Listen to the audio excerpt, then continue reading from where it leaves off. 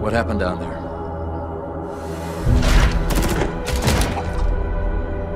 Isabel? Five months ago, the portal from the Ark to Earth shut down without warning.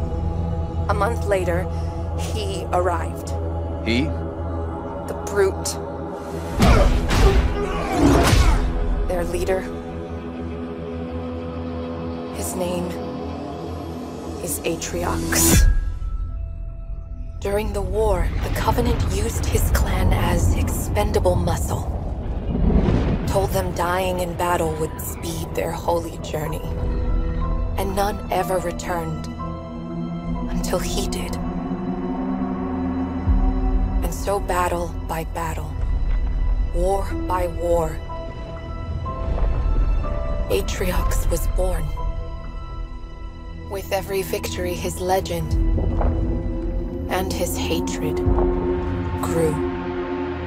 Eventually, both were impossible to conceal, and they tried to banish him. In everything we know about the Covenant's thousand-year history, Atriox was the first to defy the Covenant and survive. His defiance inspired others. The Covenant had two targets in those years.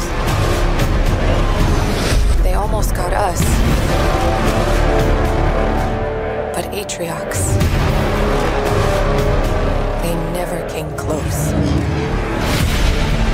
If we don't stop him now, we leave the galaxy at the mercy of a monster.